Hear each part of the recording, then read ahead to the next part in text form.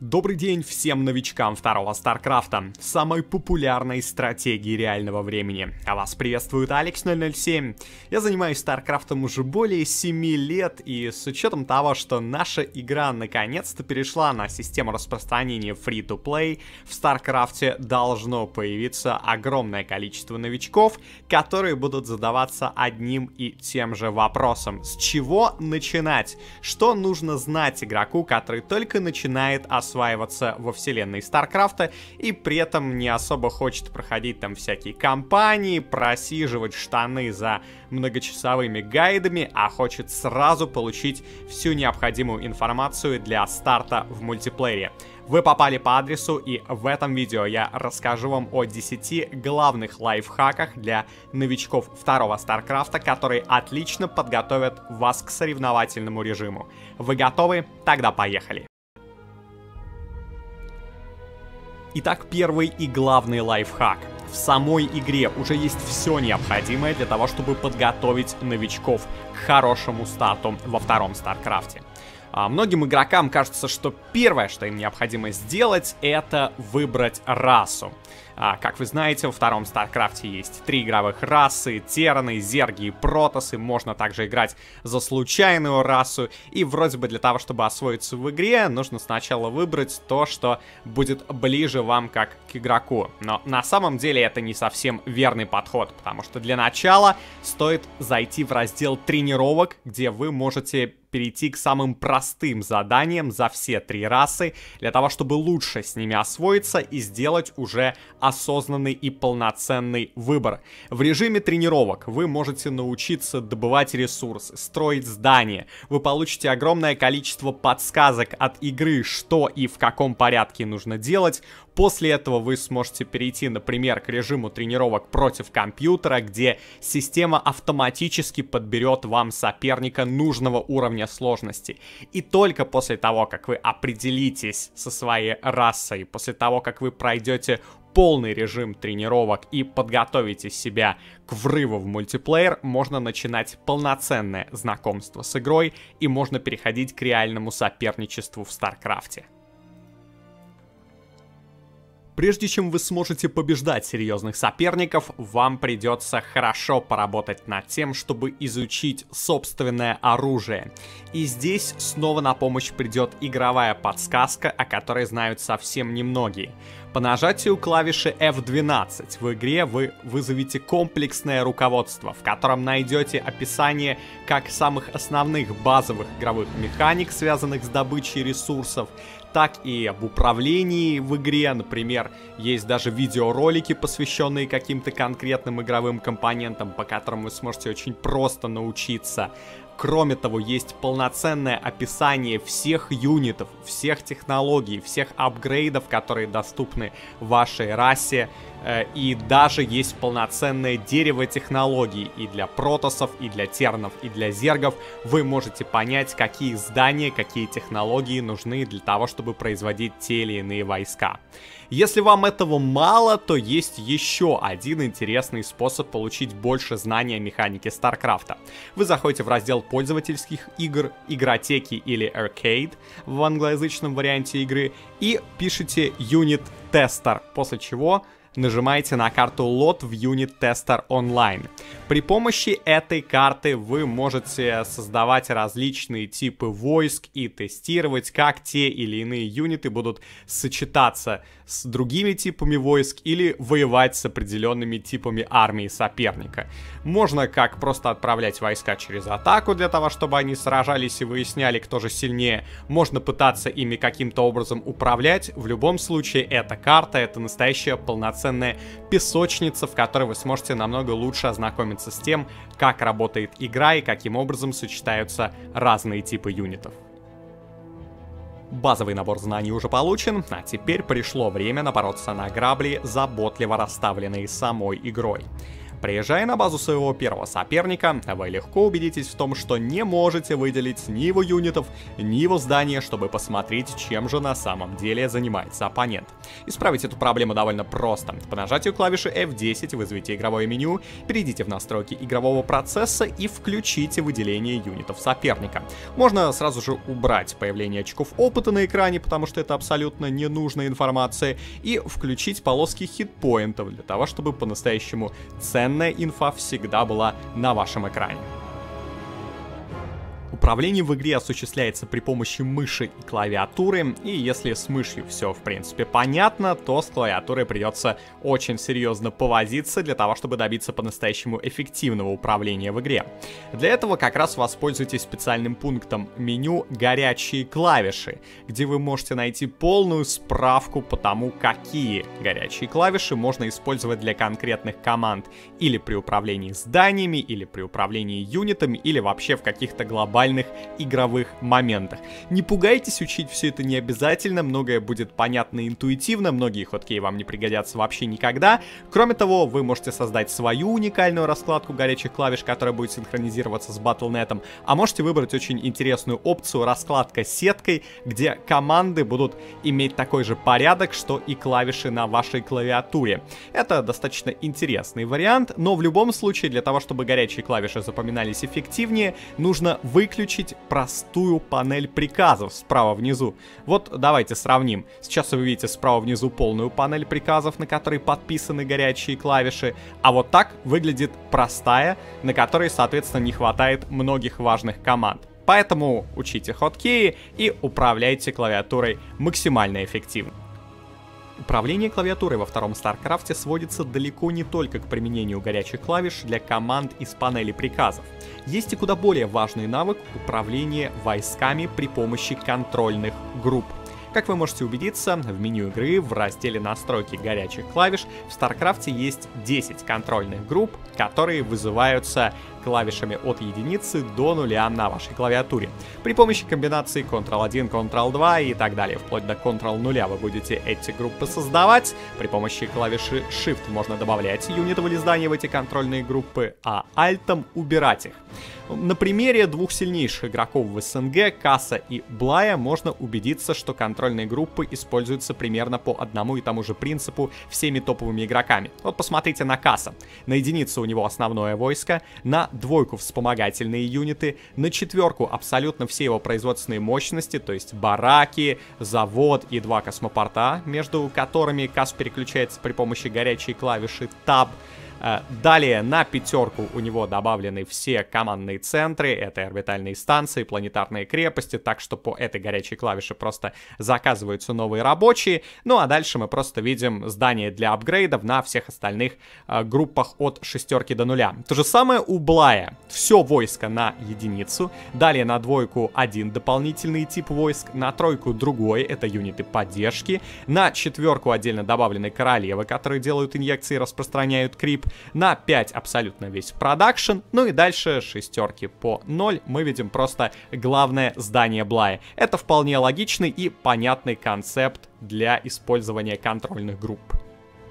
Ну все, шутки кончились, пора переходить к серьезным взрослым вопросам. Давайте поговорим об APM, показателе Actions per Minute, количество действий в минуту, относительно которого в среде неопытных игроков во второй StarCraft бытует мнение, что для того, чтобы играть на высоком уровне, нужно летать пальцами по клавиатуре так, как будто ты играешь сонату Бетховена в темпе престиссимо.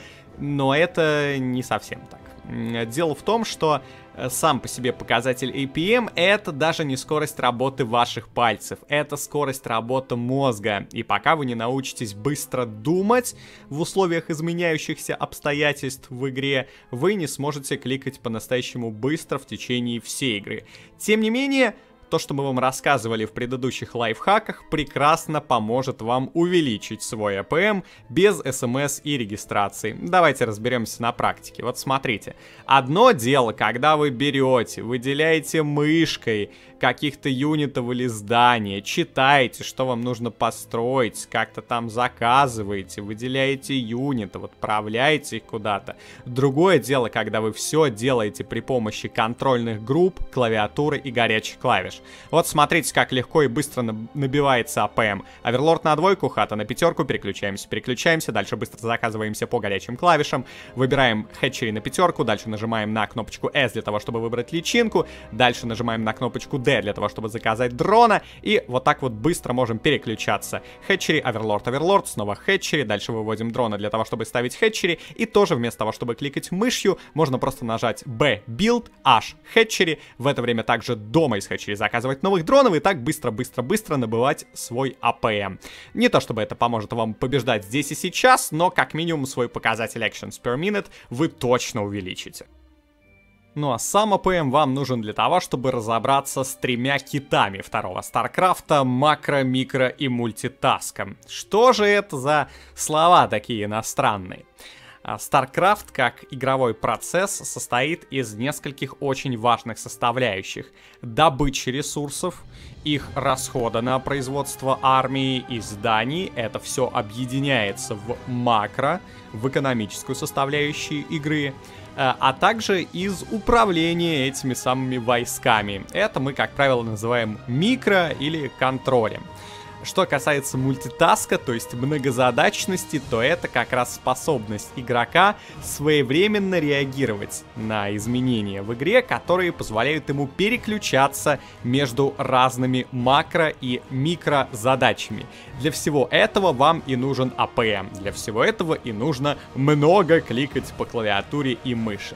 Давайте снова обратимся к примеру от профессионала и посмотрим, как именно украинский терран Kas распределяет свой АПМ. Вот смотрите, сейчас он переключается между производственными зданиями, он занимается макро, у него готова новая база, после этого он переключается на войско, бросает скан, чистит зерговскую слизь, далее включается мультитаск, потому что он занимается высадкой войск на базу врага и в это же время идет вперед своим войском. Также обратите внимание на переключение по горячим клавишам внизу, постоянно происходит заказ новых войск, то есть в процессе контроля, в процессе управления своим войском Кас также не забывает о макро, о производстве новых юнитов. Сейчас он бросает скан, видит, что соперник соперника нет рядом, то есть получает необходимую информацию, идет вперед, дает сопернику сражение, концентрируется на контроле собственными войсками, почти не занимается макро в этот момент, потому что основной приоритет идет именно на войско, на микро и на небольшой мультитаск, связанный с высадкой на базу соперника. Как только появляется пауза, мгновенно по горячим клавишам снова происходит заказ, вновь небольшая пауза в сражении, это повод заняться экономикой, перевести рабочих, и дальше опять приоритеты распределяются именно в пользу контроля армии. За всем за этим не стоит забывать о том, что три кита, если хотите, три слона сидят на одной черепахе. И этой черепахой, панцирь которого поддерживает весь игровой процесс, является информация, которую вы должны получать по ходу всей игры. StarCraft это во многом именно игра информации. Информации не только о том, э, что у вас за юниты, как они атакуют и чем они занимаются, то есть информация информация не справочного характера, а информация, которую вы получаете в реальном времени о том, что делает соперник, где он находится и какие решения, как следствие, вы должны принимать. Именно за счет информации живут эти три кита и осуществляется переключение от одного элемента игрового процесса к другому. В общем, главный вам совет – просматривайте реплеи профессионалов или даже ваших соперников в рейтинговых играх, смотрите, как они макрятся, как они микрятся, как они переключаются между разными задачами, и будет вам счастье. Теперь давайте поговорим об еще одном моменте, которому вас, к сожалению, не научит ни одно стандартное игровое обучение. Как и где нужно располагать свои строения. Запомните главный момент. В Старкрафте очень важны стенки. То есть здания, расположенные таким образом, что через них просто нельзя пройти. Это настоящая стена, настоящее укрепление перед проходом на вашу базу. Проще всего стенки ставить таким образом, чтобы здания стояли впритык каким-то элементам рельефа. Вот, например, смотрите, спуск с вашей базы, вы ставите здание таким образом, чтобы хранилища находились прямо на краю, чтобы нельзя было поставить здание ближе к проходу. А, то же самое касается проходов между зданиями. Вы ставите их таким образом, чтобы они стояли вплотную, и это очень важно, соприкасались клеткой либо по горизонтали, либо по вертикали. Э, если они соприкасаются как-то там по диагонали, то вы увидите, что стенка не плотная и какие-то юниты могут через нее проходить. Так что ставьте стенки вплотную, делайте так, чтобы здания соприкасались именно клеткой по горизонтали или по вертикали, и будет вам счастье, потому что у расы тернов есть замечательная возможность опускать и поднимать хранилище. Протосы и зерги лишены этой привилегии, поэтому у них появляется дополнительный нюанс. Им нужно ставить здание таким образом, чтобы все-таки оставался какой-то проход. Как правило, проход это одна клетка игрового поля. Э, клетка сверху и снизу, от которой находятся другие здания, ну или слева или справа. А, главное, чтобы не по диагонали. Вы видите, проход получается закрыт, если юниты, которые стоят на этой клетке, поставить на команду hold position, то есть отдать ему команду держать позицию.